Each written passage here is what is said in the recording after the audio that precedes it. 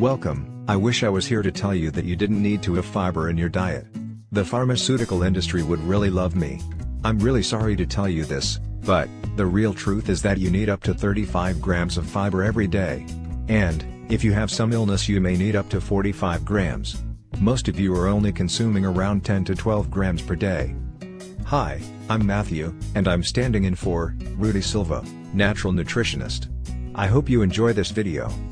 So, let's get going. I know, you probably get tired to hearing you need to do this and that. And, this and that to have good health. So you may get confused as to what to really believe or do. But fiber is one of the health aspects you can correct easily. But, there are many aspects of health that you need to know. Fiber is a central concept that you need to understand and apply.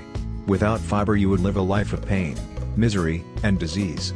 Maybe you are already feeling the pain of lack of fiber. Fiber is the building block of fruits and vegetables. It helps them grow straight, strong, and with structure. So, they can withstand whatever calamity comes their way. Fiber really can do the same for you. Fiber is used by your whole body and not just in certain parts. So, it needs to be part of your health regime.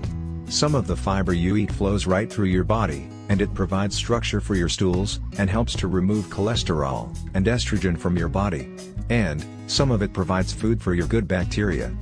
You might think that a high-fiber diet is only good for preventing and dealing with constipation, hemorrhoids, and varicose veins. I'm sorry to tell you, the truth is this is only the beginning of what fiber foods can do. They are a whole body nutrient.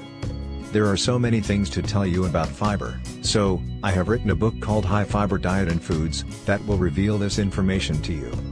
If you want to discover more about fiber, check out my fiber diet book. In my book you will discover how you can use fiber to prevent disease and to help eliminate it. This guide will help you prevent sickness, and improve your well-being.